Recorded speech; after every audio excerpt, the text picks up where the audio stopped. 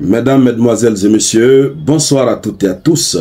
À la une de l'actualité internationale, nous parlons de ce bilan très négatif et très élevé des activités de terreau-terreau du côté du Nigeria.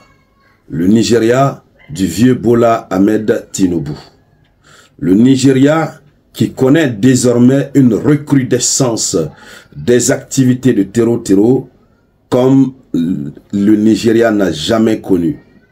Cette fois-ci, le bilan il est très élevé, il est très négatif.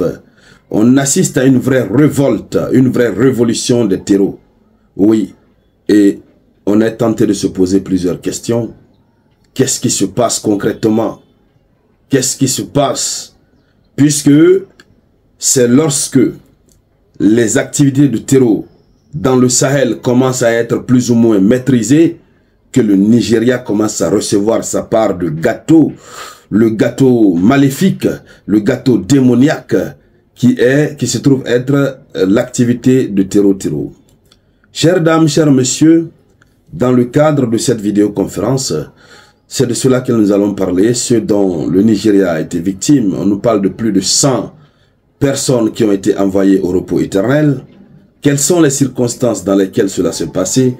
Où exactement cela s'est passé? Et la grosse question, est-ce que les terreaux encouragés par la France ne sont pas en train de se retourner contre le Nigeria? That is the question, ça c'est la question. Alors, nous allons continuer la vidéoconférence, nous allons entrer dans les profondeurs. Mais avant de continuer, merci euh, à toutes et à tous de mettre en commentaire Vive, vive l'Afrique des souverainetés. Mettez en commentaire Vive l'Afrique des, souverainetés, j'allais dire. Vive l'Afrique des souverainetés. C'est de cela qu'il s'agit. Et surtout, mettez beaucoup de j'aime et partagez la vidéoconférence au maximum. Allons-y donc dans les profondeurs avec euh, l'annonce officielle. Alors, selon les informations, ça s'est passé le premier le 1er septembre 2024, vers 16 heures. Vous avez près de 150 terreaux-terreaux de l'équipe terreau qu'on appelle Boko Haram qui ont pénétré le village de Mafa, Mafa Yobe. Et ils étaient lourdement armés, mais lourdement armés. Alors, ils sont venus dans ce village, ils ne se sont pas limités dans ce village, mais ils ont aussi attaqué les villages environnants. Le bilan est très élevé. Le bilan s'élève à 127, 127 villageois qui ont été envoyés automatiquement au repos éternel. 127 villageois. Je vous dis que le bilan, il est trop. Négativement trop. Oui. Et puis on nous signale d'ailleurs que le bilan, ce bilan est encore provisoire car de nombreuses victimes avaient déjà été euh, ils avaient déjà, déjà été envoyés sous terre avant même euh, euh, l'arrivée des autorités. Donc pour le moment, on ne sait pas le nombre total. Alors, de, de nombreuses habitations et des commerces ont été pillés et incendiés. Voici ce qui s'est passé le 1er septembre, dont les informations nous ont été révélées ces dernières 24 heures.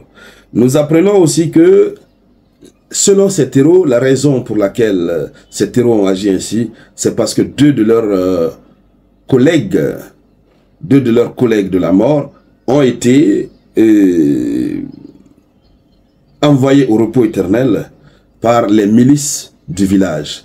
Puisque vous avez des milices qui sont dans ces villages qui contrôlent. Dès qu'ils voient qu'il y a des terreaux, ils vous prennent et puis ils vous envoient au repos éternel. Et ces terreaux sont donc venus pour venger leurs amis, selon ce que nous apprenons. Et vous savez toujours que les terreaux viennent toujours avec un argument. Lorsqu'ils agissent, ils disent on a fait ça au nom de tel, on a fait ça au nom de tel. S'ils ne revendiquent pas leur appartenance à l'État islamique, ils, ils, revendiquent leur appartenance à je ne sais tel, tel, tel, tel, et puis ils justifient leur acte par une action qui a été posée. Voici ce qui s'est passé, d'accord, du côté du Nigeria. Alors, ça devient très grave, ça devient très compliqué pour le Nigeria. Et c'est pourquoi nous disons, on ne fait pas d'amitié avec le diable. le diable reste le diable. Il vous souviendra encore une fois que le Nigeria avait, pactisé avec la France pour aller déstabiliser le Niger. Ils ont pactisé, ils ont fait un pacte. Oui, Boula Ahmed Tinubu avait garanti à la France que son État à la tête de la CDAO serait capable de déstabiliser le Niger, c'est-à-dire de faire tomber le général d'armée Abdurrahman Chani pour mettre Bazoum dans, son fauteuil, pour que Bazoum puisse euh, continuer à, rendre le service lucratif, le service financier euh, à la France. Malheureusement, ils n'ont pas réussi dans leur lutte. Et donc, aujourd'hui, les terreaux-terreaux, lorsqu'ils se transportent sur le territoire du Niger, la manière dont on fait sur eux, et eux-mêmes, ça ne va plus dans leur tête.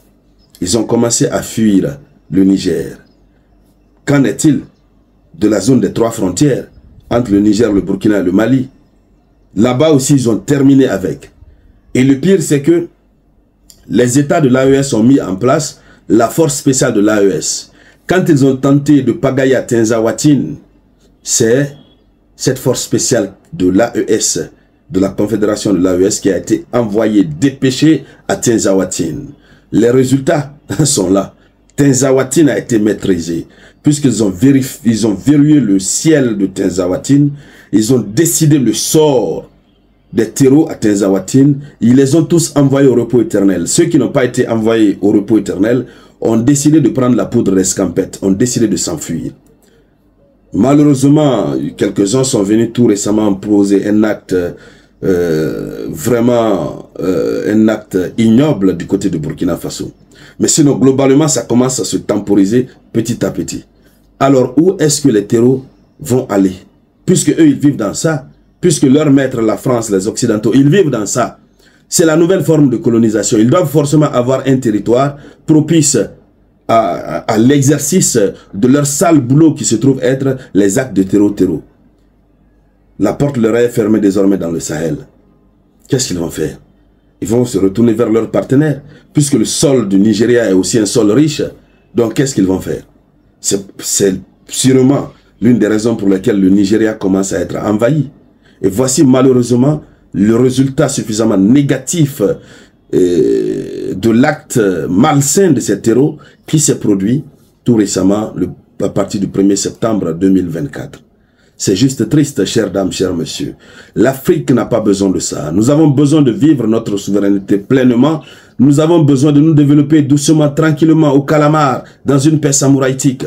Mais imaginez, est-ce qu'on peut parler de développement lorsque vous entendez les bruits de bottes de terreau Est-ce qu'il faut d'abord lutter contre les terreaux, les avant de penser au développement? C'est dans ce grand dilemme que l'Occident veut nous mettre et vient de nous mettre. On ne pense plus au développement de nos nations. On pense plutôt comment nous sécuriser contre des actions de terreau. On vous dit action de terreau. Ça vous traumatise, ça vous met hors de vous-même. C'est ce qu'ils veulent.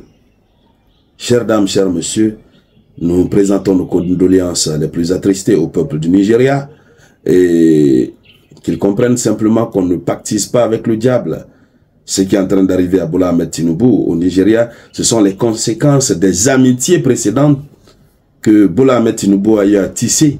Il a pris des engagements sans respecter ses engagements. Et voici le résultat. Ainsi donc, mesdames, mesdemoiselles et messieurs, merci de partager cette vidéoconférence au maximum. Je vous reviens tout à l'heure avec de nouvelles actualités. C'était la voix de votre unique samouraï.